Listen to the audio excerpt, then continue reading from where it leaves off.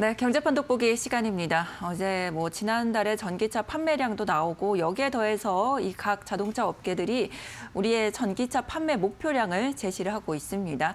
과연 이게 또 새로운 모멘텀이 돼서 지금 부진을 겪고 있는 자동차 이 주가 좀 상승에 여력을 줄 수 있을지 여기에 대한 이야기 들어보겠습니다. 오늘은 권혁준 경제평론가와 함께합니다. 어서 오세요. 네, 안녕하십니까. 네. 자, 우선은 전기차 판매 실적들이 속속 나오고 있습니다. 네.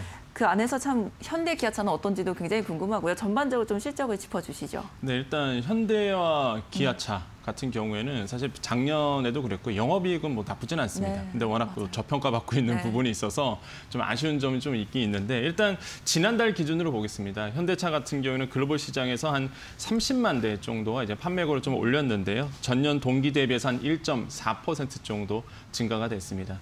기아차는 지난달 기준 글로벌 시장에서 한 22만 대를 판매를 했고 전년 동기 동월 대비해서 한 40, 아니 4.7% 정도 이제 증가가 됐거든요. 그러니까 판매고를 본다 그러면 그렇게 나쁘지는 않다라고 볼 수가 있겠고요. 2월 이렇게 실적이 선방한 이유는 첫 번째 이제 반도체 부 어, 반도체 아, 좀 부품에 대한 그 수급 문제가 점차적으로 좀 완화되는 부분도 있겠고 두 번째로는 사실 현대차 그룹 중심으로 해서 반도체를 좀 유연하게 배분하는 전략들이 어느 정도 이제 생산 라인에서 영향을 주고 있다. 세 번째로 이제 신차 효과겠습니다. 당연히 이제 아이오닉 5라든지 캐스퍼 이런 신차 효과로 인해서 사실 이제 많은 판매고를 좀 기록을 했고요. 특히 2월에 이런 판매 수주, 판매고의 그 영향이 좀 더 눈에 더 들어왔던 게 워낙 그 1월에 판매가 잘 되지 않았던 부분이 있거든요. 그래서 이번 1월 같은 경우에는 전년 동월 대비해서 한 12% 정도 판매가 줄어든 부분이 있었습니다. 그러다 보니까 2월이 조금 더 이제 가시적으로 봤을 때 눈에 더 많이 어, 선방했던 눈 좀 티가 좀 많이 났었다라고 볼 수가 있겠고 앞으로도 제가 봤을 때 현대 기아차의 판매는 물론 뭐 우크라이나 러시아 사태 특히 이제는 러시아 비중이 조금 높은 이제 현대차와 기아차의 부분이 있겠지만은 그래도 어, 나쁘지 않는 어, 판매를 기록할 것이다라고 이제 보고 있습니다. 뭐 요즘 재고 부족 사태 때문에 굉장히 말이 많은데 그에 비하면은 꽤 선방한 실적을 네. 내놨던 현대 기아차 지금 살펴주셨고요.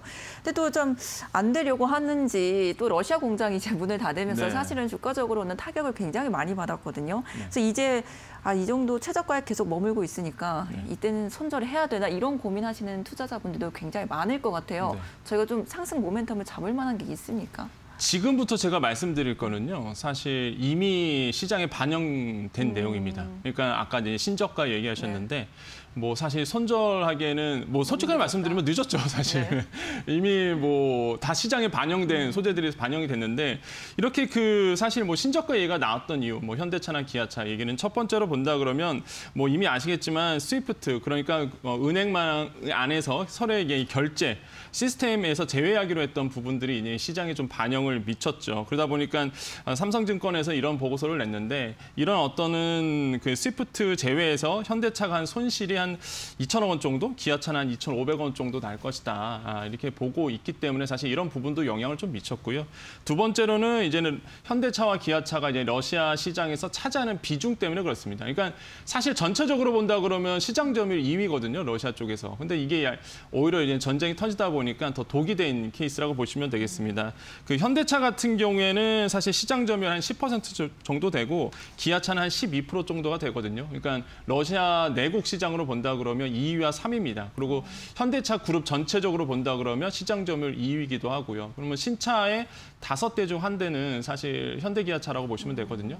전쟁이 터지다 보니까 사실 이제 환차선이 저는 가장 큰 우려라고 좀 생각하거든요. 솔직히 말하면. 그래서 환차선에 대한 아마 손해가 굉장히 좀 많이 날 것이다라고 생각도 해보겠고 일단은 어찌됐든 간에 이렇게 러시아 시장에서 비중이 높았다가 이게 이제 전쟁이 터지면서 오히려 반대적인 영향, 어, 시장에 영향을 주고 있고 아까도 말씀드린 것처럼 세 번째가 현지 공단 중단이죠. 그래서 오는 5일까지 뭐 표면적 이유는 사실 뭐 반도체 수급 불안이라고 얘기를 하지만은 역시나 이제 전쟁의 영향이다라고 보시면 되겠습니다. 근데 이러한 소재들은요 앞서 말씀드린 것처럼 이미 시장에 다 반영된 선 반영된 상태고 그러다 보니까 이제 신저가의 얘기가 계속 나왔던 것이고요.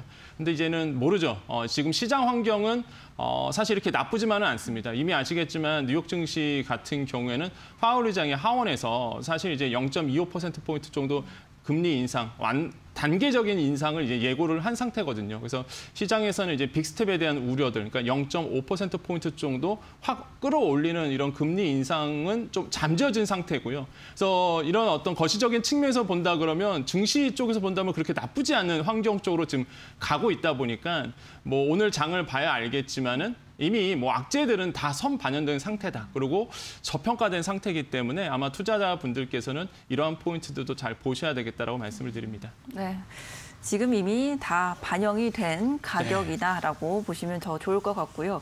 자, 그렇다면 이제 현대차가 앞으로에 어떻게 갈 것인가를 이제 투자자들은 확인을 해야 되는데 그 길을 좀 보여줬습니다. 인베스터 네. 데이를 진행을 하면서 저희가 거기서 좀 포인트로 짚어서 봐야 될 부분들은 어떤 게 있습니까? 일단 investor day 같은 경우는 현대차는 어제 했고요. 이제 기아차 같은 경우 오늘 10시에 네. 이제 예고가 돼 있는 상태인데 사실 이렇게 나란히 한 게 없었는데 좀 기대를 할 만하죠. 그러니까 어. 왜 나란히 있잖아요, 사실. 네. 그런 적이 없었는데 그래서 이렇게 나란히 이제 investor day를 해서 투자자 앞에서 과감하게 이제 비전 제시, 목표 제시를 했는데 일단 현대차 같은 경우에는 어, 점유율을 7% 달성하겠다. 근데 그게 이제는 뭐 완성차 전체가 아니라 이런 전기차 중심으로 해서 어, 2030년까지 점유율 7% 달성하겠다라고 이제 목표 제시를 했고요.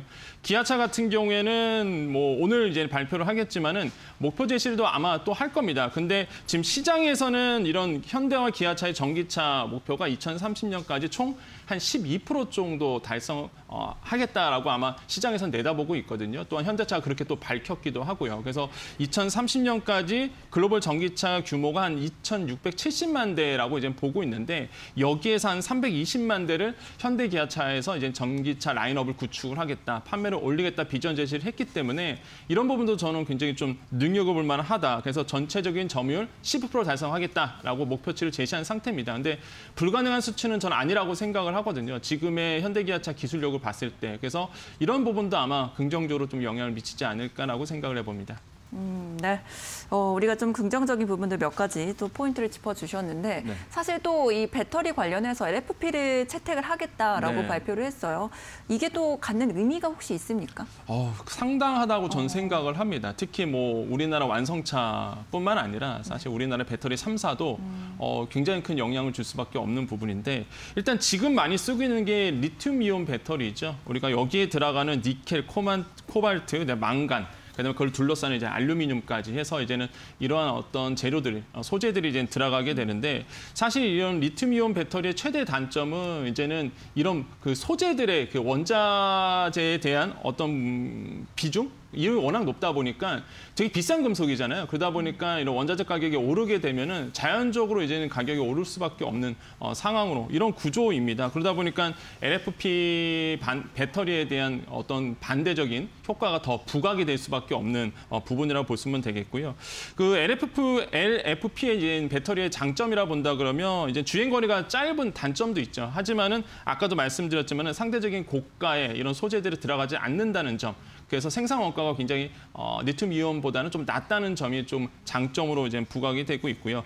무엇보다 화재 위험성이 적습니다. 아, 그러다 보니까 조금 더 많은 완성차 기업들이 지금 눈을 여겨보고 있는 거고 지금 현대차의 전략 아까 이제 질문 주신 부분인데 그러다 보니까 현대차도 이런 LFP 배터리에 대한 관심들을 가질 수밖에 없는 게 그러한 주요한 이유는 역시나 포트폴리오를 좀 다양하게 하겠다는 거죠.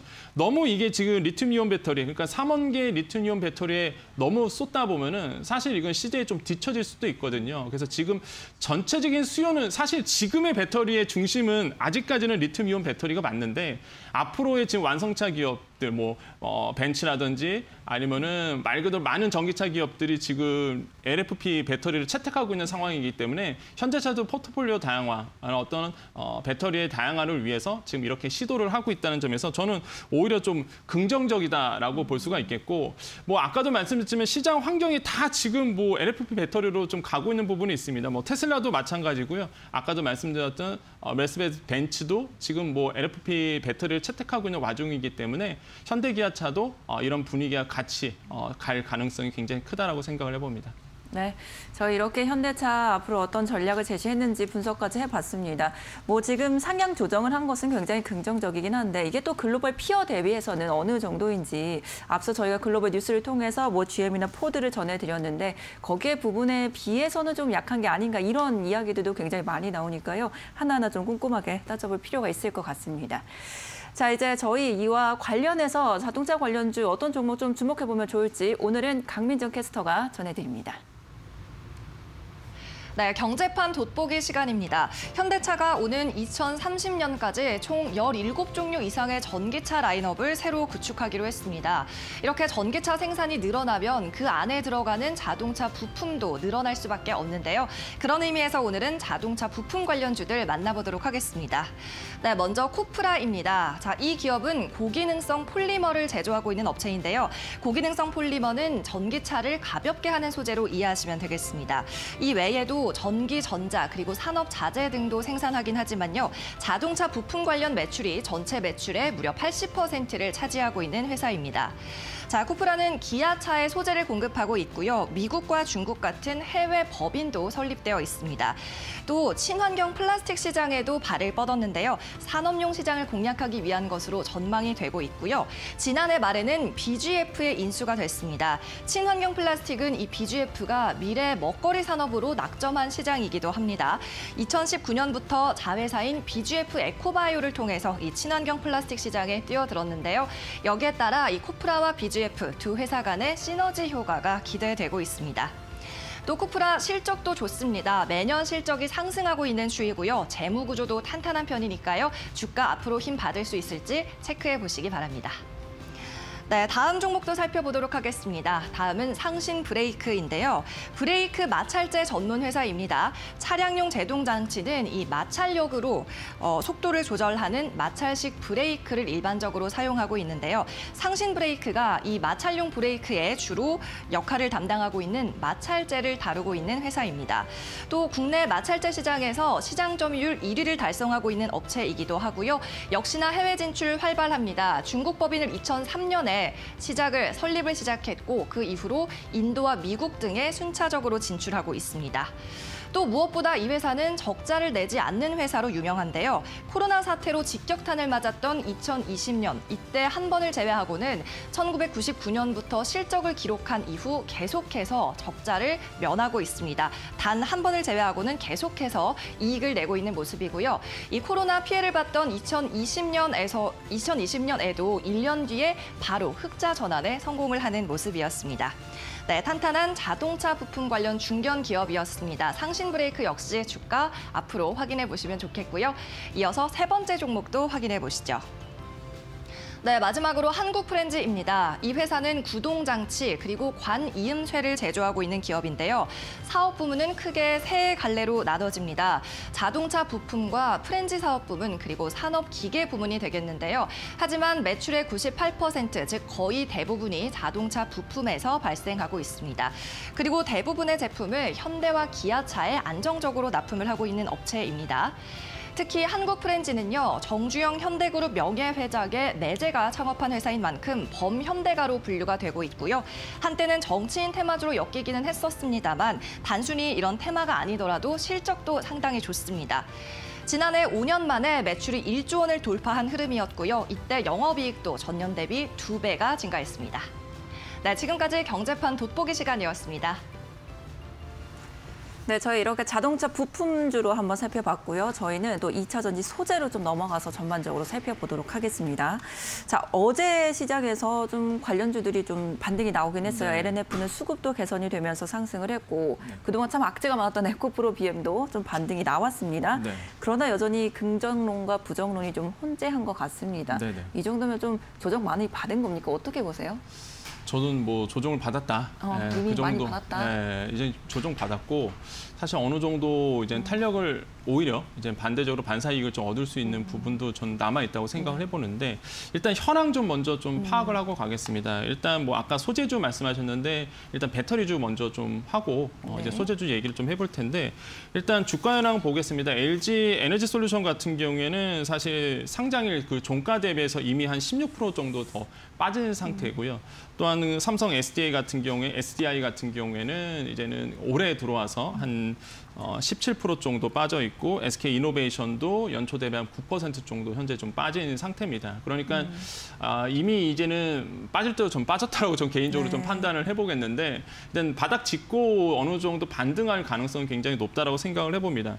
근데 부진한 이유를 좀 보셔야 되겠는데요. 일단은 원자재 가격이 오르면서 수익성이 좀 악화된 부분은 확실히 시장에 이제 반영이 됐었습니다. 어떤 부분이냐면 사실 원자재 값이 오르게 되면 배터리에 대한 가격도 상- 당연히 이제는 연 동돼서 움직이는데 사실 이렇게 비연동되는 물질들 하면 알루미늄이겠죠. 그 막을 싸고 있는 이런 것들이 사실 가격이 오르면서 사실 가격에 녹여내지를 못하는 부분이 있거든요. 사실 원자재 가격이 오르면 당연히 생산 원가도 반영되면서 가격을 높여야 되는데 그걸 못하다 보니까 이게 이제 투자자들에게 영향을 미치면서 사실 주가에 좀 부정적인 영향을 줬었고 두 번째로는 이제는 물류비 이미 뭐 아시겠지만은 물류비는 뭐 전세적인 영향이었습니다. 사실 우리나라뿐만 아니라 글로벌적인 어, 환경이었기 때문에 물류비의 증가가 아무래도 영업이익에 좀 영향을 미쳤던 부분. 그래서 4분기 영업이익이 사실 어닝 쇼크라고 기록할 정도로 좋지는 않았었거든요. 그러니까 이런 부분들이 사실 이제 반영이 되면서 계속적으로 이제는 하락하는 추세를 보여왔는데 저는 사실 향후로 본다 그러면 수익성만 사실 눈에 가시적인 효과만 나온다 그러면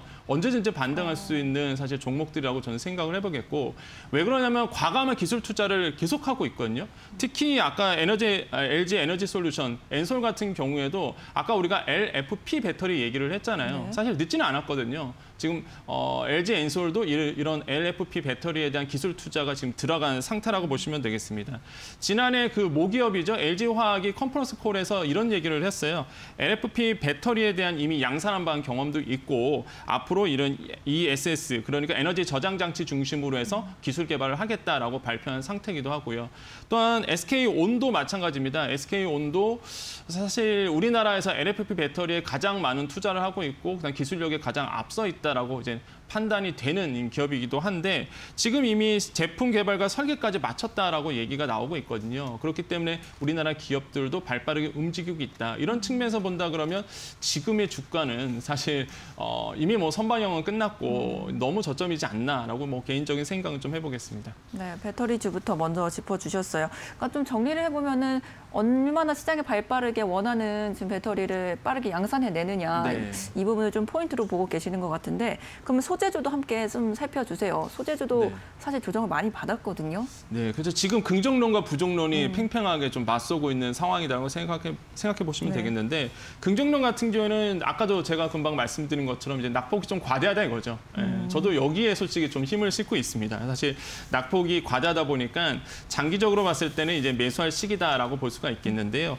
뭐 대표적인 게 아까도 말씀드렸지만 NNF 같은 경우는 최근 1개월 사이에 한 12% 정도가 올랐고요. 특히 에코프로 비행도 아시겠지만 저도 깜짝 놀랐지만은 주주가치 재고했을 때 25일 날 갑자기 뭐 10% 이상 급등했던 부분도 있었거든요. 그래서 이런 부분도 사실 눈여겨 볼 만하다라고 생각을 해 보겠습니다. 어, 부정론도 역시 있습니다. 사실 이게 수익성이 담보가 돼야 되는데 아직 가시적인 어떤 수익성이 보이지 않는다. 이러면서 투자 심리가 계속적으로 위축 될 가능성이 크다라고 보는 쪽도 역시나 존재를 하고요. 특히 이제는 valuation이 너무 높다라는 측면도 있습니다. 그러니까 가치가 너무 고평가돼 있다라는 어떤 시각이 있기 때문에 계속적으로 주가가 반등하지 못하는 부분도 역시나 존재하고 있다라고 말씀을 드리겠고요. 특히 이제 완성 배터리 업체에서 이런 소재 중심의 회사들에게 가격이나 요구를 계속적으로 요구하고 있다라는 이제는 얘기도 계속 나오고 있죠. 그러다 보니까 소재주 중심으로는 계속적으로 가격을 낮출 수밖에 없는 이런 부분이 좀 악재로 작용하고 있지만은 저는 오히려 어, 반대로 생각해 본다 그러면 이런 긍정론 쪽 그러니까 낙폭이 좀 과대한 상태다. 이 상태에서 반등할 여지는 여전히 남아 있다라고 저는 아, 개인적으로 생각을 해보겠습니다. 네, 저희 이렇게 전반적으로 자동차, 전기차 시장부터 지금 2차 저진 소재주까지 한번 잘 다뤄봤습니다. 전반적으로 이 관련 업종들이 참 펀더멘털에 큰 변화는 없는데 시장의 좀 악화가 주가를 끌어내리는 듯한 모습입니다. 이런 수급적인 개선이 어느 정도 이루어진다라면은 추가적인 반등 노려볼 만하다라는 투자 의견 드렸으니까요. 참고를 해보시길 바랍니다. 지금까지 권혁준 경제평론가와 함께했습니다. 감사합니다. 네, 감사합니다.